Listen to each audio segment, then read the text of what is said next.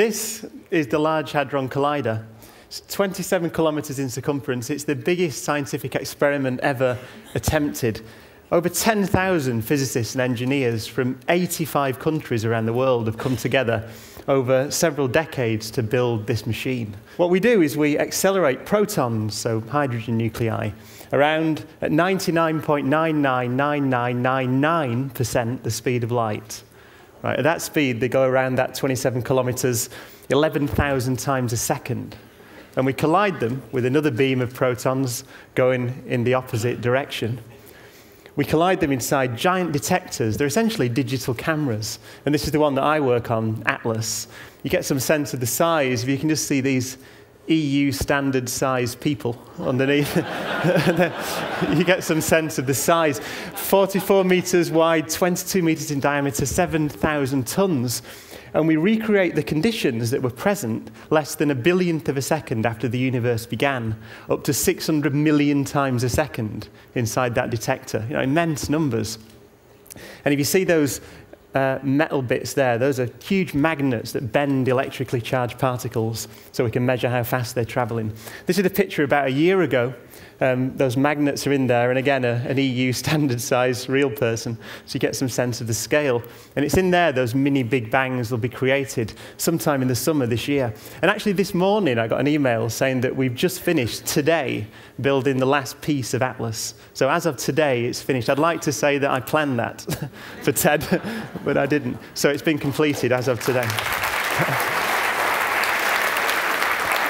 yeah, it's a wonderful achievement. So you might be asking, why? Why create the conditions that were present less than a billionth of a second after the universe began? Well, particle physicists are nothing if not ambitious. And the aim of particle physics is to understand what everything's made of and how everything sticks together. And by everything, I mean, of course, me and you, the Earth, the Sun, the 100 billion suns in our galaxy, and the 100 billion galaxies in the observable universe. Absolutely everything. And you might say, well, okay, but why not just look at it? You know, if you want to know what I'm made of, let's look at me. Well, we found that as you look back in time, the universe gets hotter and hotter, denser and denser, and simpler and simpler. Now, there's no real reason that I'm aware of for that, but that seems to be the case. So, way back in the early times of the universe, we believe it was very simple and understandable. All this complexity, all the way to these wonderful things, human brains, are a property of an old and cold and complicated universe. Back at the start, in the first billionth of a second, we believe, or we've observed, it was very simple. It's almost like imagine a snowflake in your hand and you look at it and it's an incredibly complicated, beautiful object. But as you heat it up, it'll melt into a pool of water, and you would be able to see that actually it was just made of H2O, water. It's in that same sense that we look back in time to understand what the universe is made of. And as of today, it's made of these things just 12 particles of matter stuck together by four forces of nature. The quarks, these pink things, are the things that make up protons and neutrons, that make up the atomic nuclei in your body. The electron, the thing that goes around the atomic nucleus, held around in orbit, by the way, by the electromagnetic force that's carried by this thing, the photon. The quarks are stuck together by other things called gluons. And these guys here, the, the, weak nuclear force, probably the least familiar, but without it, the sun wouldn't shine. And when the sun shines, you get copious quantities of these things called neutrinos pouring out. Actually, if you, if you just look at your thumbnail, about a square centimeter, there are something like 60 billion neutrinos per second from the sun passing through every square centimeter of your body. But you don't feel them because the weak force is correctly named, very short range and very weak, so they just fly through you. And these particles have been discovered over the last century, pretty much. The first one, the electron, was discovered in 1897.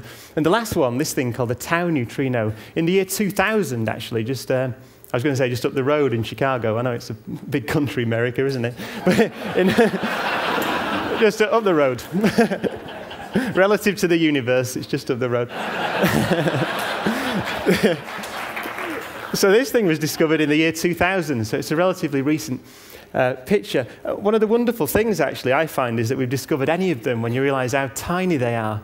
You know, there's a step in size from the entire observable universe, so 100 billion galaxies, 13.7 billion light years away. The step in size from that to Monterey, actually, is about the same as from Monterey to these things. Absolutely exquisitely minute, and yet we've discovered pretty much the full set.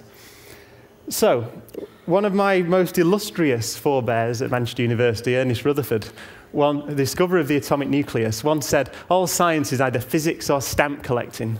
Now, I don't think he meant to insult the rest of science, although he was from New Zealand, so it's possible.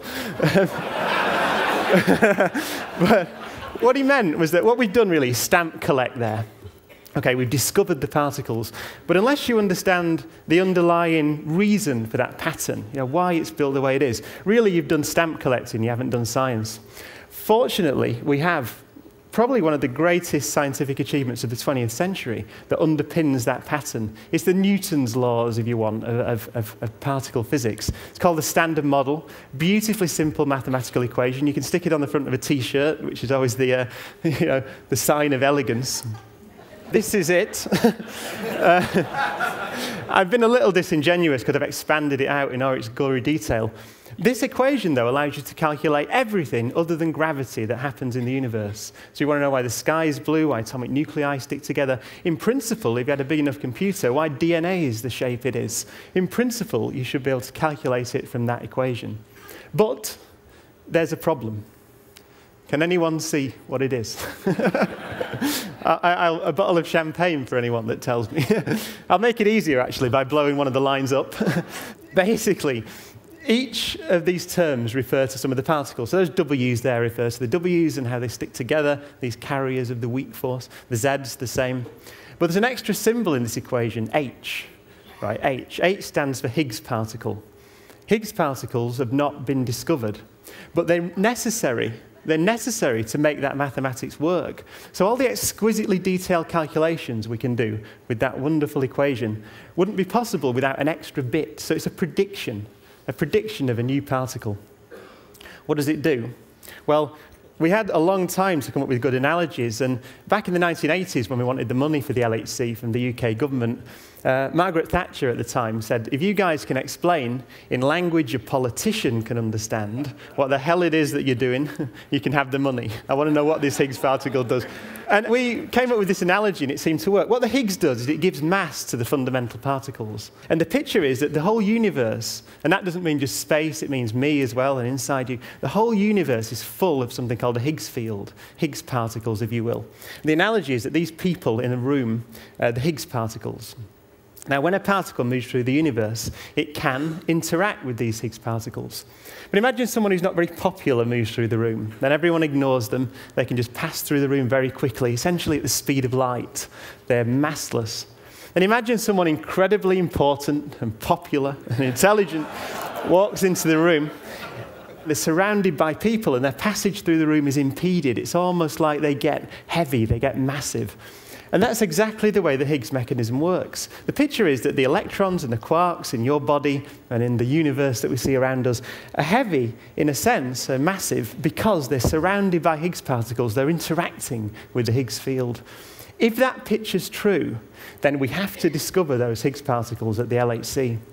If it's not true, because it's quite a convoluted mechanism, although it's the simplest we've been able to think of, then whatever does the job of the Higgs particles, we know have to turn up at the LHC. So that's one of the prime reasons we've built this giant machine. I, am glad you recognize Margaret Thatcher, actually. I thought about making it more culturally relevant. but uh, anyway. so, so that's one thing. That, that's essentially a guarantee about what the LHC will find. There are many other things. You, have heard many of the big problems in particle physics. One of them you heard about dark matter, dark energy. There's another issue, which is that the forces of nature, it's quite beautiful actually, seem, as you go back in time, they seem to change in strength. Well, they do change in strength.